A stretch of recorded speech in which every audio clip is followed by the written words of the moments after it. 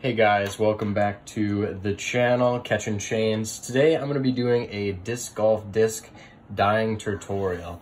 So this is going to be the disc I'm dyeing today. It's a Star, Nate Sexton Star Excalibur, and the premium plastics like Star Plastic and Champ Plastic definitely work the best for disc dyeing.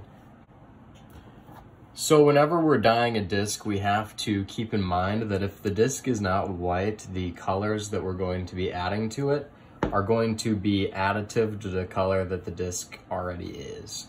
So for example, if I were to add, say, red on this disc, because this is blue, it would come out turning a little bit purple. So we have to keep that in mind when we're picking our colors. Also, usually when I get started, it's best to go in with a plan in mind for how the disc is gonna look later. So I actually draw up a little bit of a plan, like just kind of like a little blueprint. So I'm gonna put a purple line down the middle and then dark, er, and then red on either side of that, which is gonna be a lighter purple probably. Then dark blue on either side of that, and then I've got like a teal color I'm gonna put on the outside, similar color to the disc. Let's go look at uh, some of the different supplies and ingredients you'll need to do this yourself at home. So we gotta pick our dye, and personally I use RIT synthetic dye. I use the liquid kind, and that has really been working for me. And I'll show you what else we have. I just have a bunch of assorted colors in that. The next thing you're gonna need is this Elmer's Clear Glue okay? Just a bunch of it. I got the gallon of it because I do this a lot, um, but you can go to the store and get less if you want to. Personally, this is the best bang for your buck if you're planning on doing this more than just a handful of times.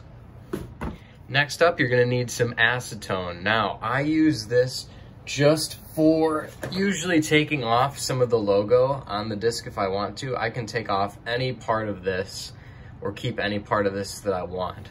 Um, so I think my plan for this one is to get rid of everything except for the sword because I think that sword looks sick. So that's what I'm gonna do. I'm gonna use some of this on a Q-tip or a cloth and just rub it off and I'll show that process too. But that's what you use acetone for. You're also gonna wanna use the acetone actually in your dye just a little bit. I mix it in with my liquid RIT dye just a little bit. Um, and I've found that that actually helps uh, take to the plastic better than without.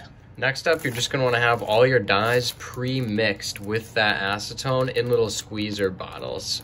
Okay, this is really useful for actually applying the dye to the disc itself, or to the, the glue bed, I should say, as you're dyeing. Next thing you're gonna wanna do is just put a giant something down on your workspace. I personally like to use just a big tarp. And what this is gonna do is keep the dye out of the way of dripping on certain things because anything that dye touches is just going to immediately stain it. Um, and you're gonna have to act fast to get it cleaned up, otherwise you're gonna have a mess on your hands. So I always like to put down a tarp. To be extra cautious, I actually got this little bin here that I put the disc in, and what that's gonna do is just add another layer of security to the whole process. After that, I add a plastic plate I got at Target for like 50 cents, and then a paper plate. And this is actually where I do the dyeing of the disc. I put the disc in there with the glue bed and that's where I am working. Once you have your whole set up ready, it's time to start preparing your disc and then begin dyeing. So the first step to dyeing your disc is actually washing it. You're gonna want to rinse it with soap and water to get off any dirt or grime that's on it, especially if this is a used disc that you're starting off with. And then you're also going to want to, if it's a brand new disc, the factory sometimes puts a coating on the top layer of the disc that dye will not adhere to unless you first remove it with soap and water. So it's always a good idea to wash your disc pretty thoroughly. If you're liking what I'm doing so far, like and subscribe. Make sure you dry your disc off thoroughly after this. The next step is to take off whatever part of the stamp that you want off. So I'm gonna be taking off this whole part right here, and everything except for the sword, pretty much. That's what I'm going to try to do. I'm going to do that with some acetone nail polish remover, a little makeup wipe. I'm to start taking off this part.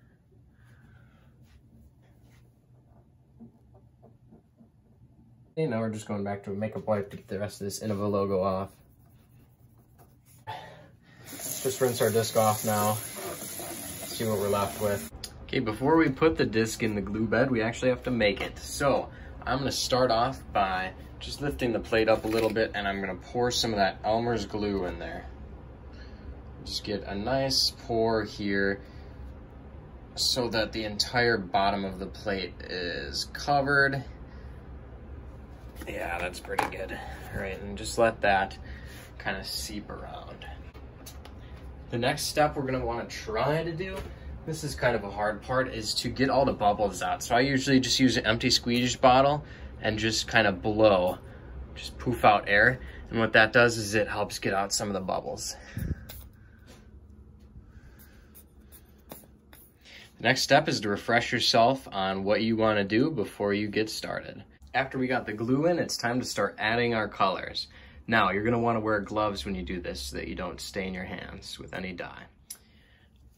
All right, so just like my blueprint said, I'm gonna start with some purple down the middle.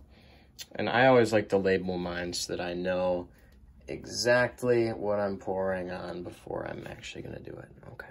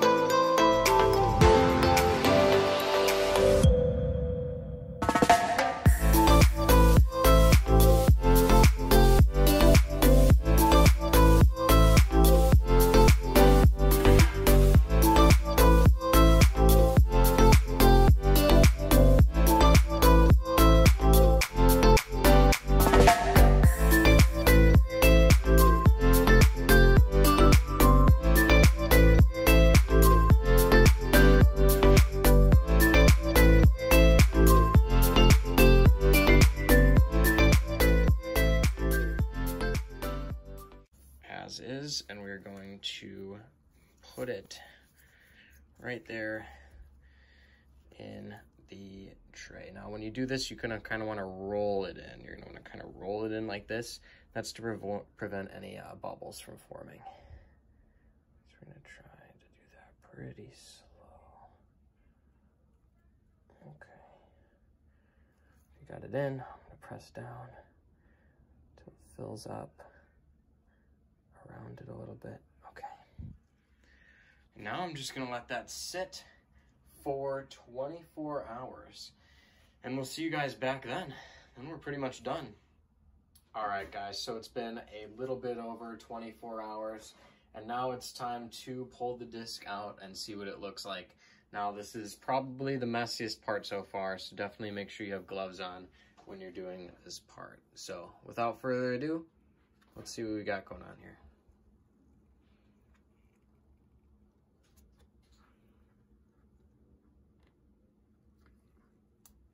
It's gonna stick. Okay, and you see right here, we don't really know what's going on much.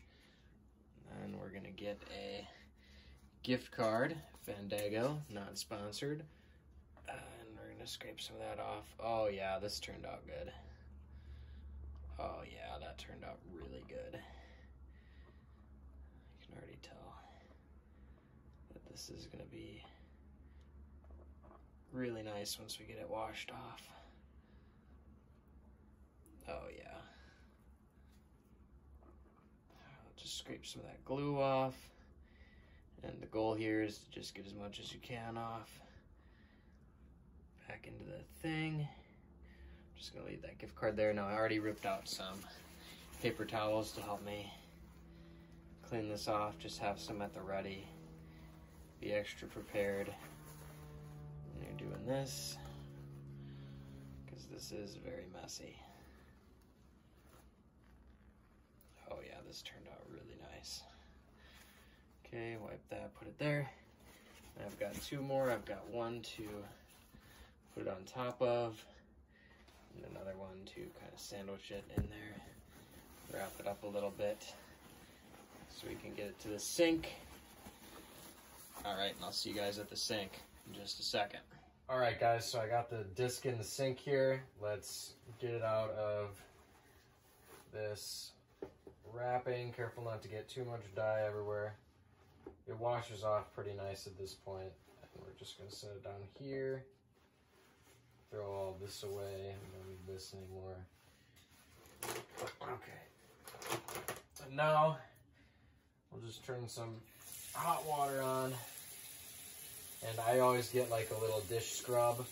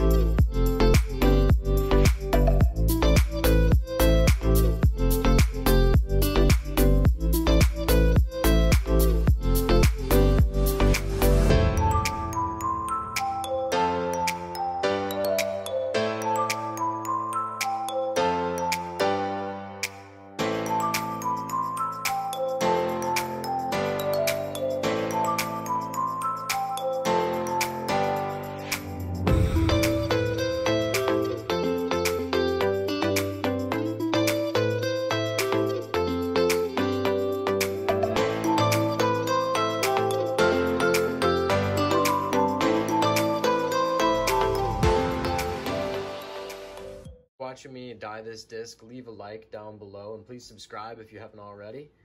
And let me know if you want to see more videos like this. Uh, thanks for watching. We'll see you out there.